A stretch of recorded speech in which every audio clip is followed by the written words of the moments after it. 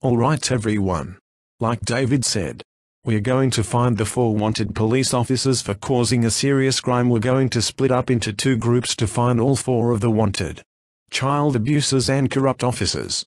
Are we clear with that? We agree with you Commander Lee. Alright.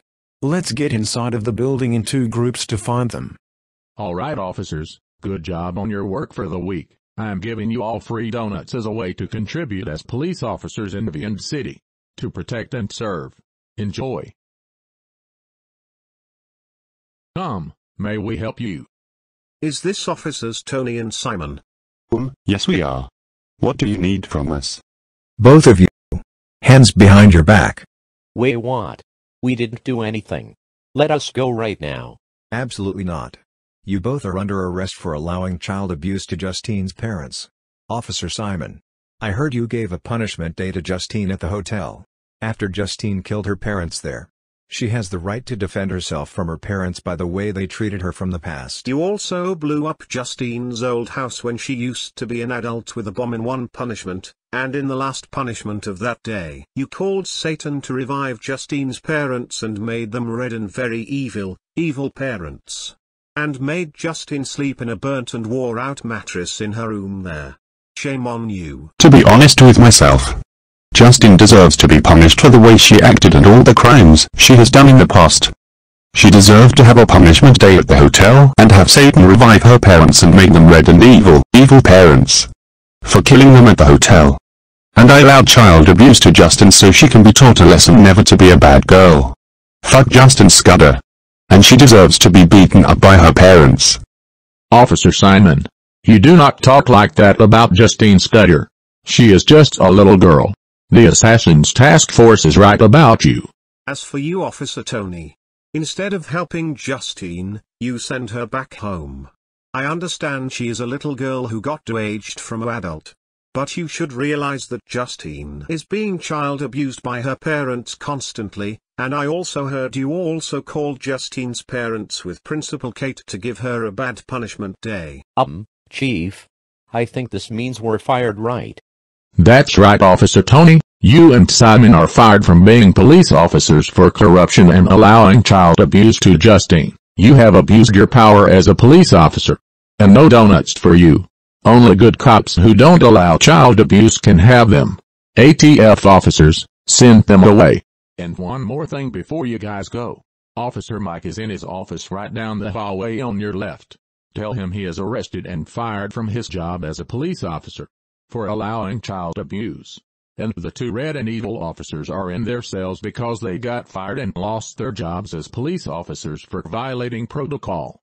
When they tried to stop Justine in a high-speed chase, Officer Mike was in charge of 911 phone calls we get we wanted to help her, but instead, Officer Mike told every police officer to go find her car and chase her down. Pure child abuse right. I agree. Thanks for telling me this information Chief Dallas. I will tell Officer David everything that Mike did. Right now. We have to send these two officers to the helicopter. Well do it is my honor to protect and serve, now abuse and be corrupt. Let me and Officer Tony go. Justin should be the one to be arrested. Not us. We're the good guys, Justin is a criminal. Alright Chief Dallas, can you come with me to Officer Mike's office? Thanks for telling us about Officer Mike. I am going to arrest him right now for all the troubles has caused. Sure do.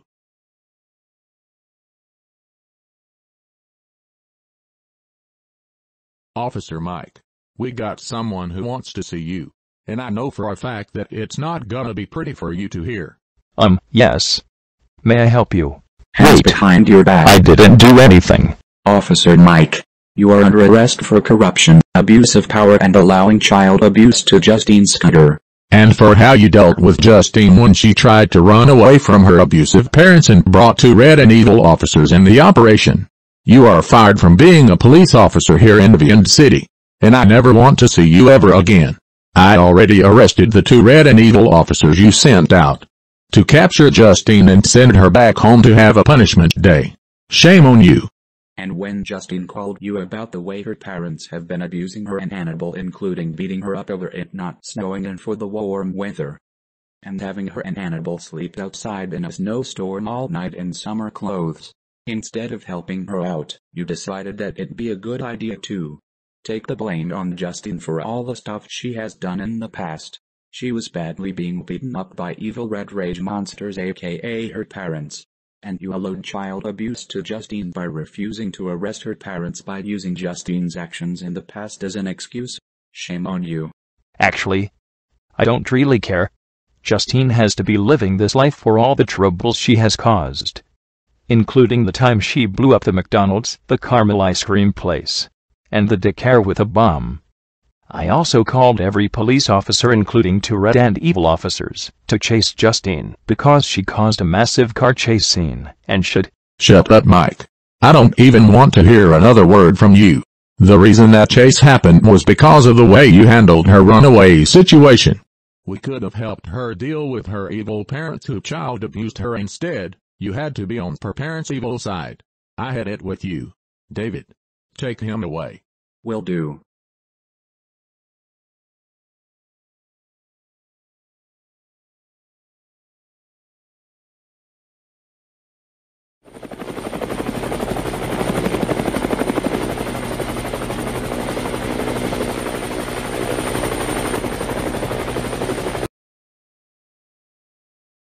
So Chief Dallas fired three of the corrupt officers.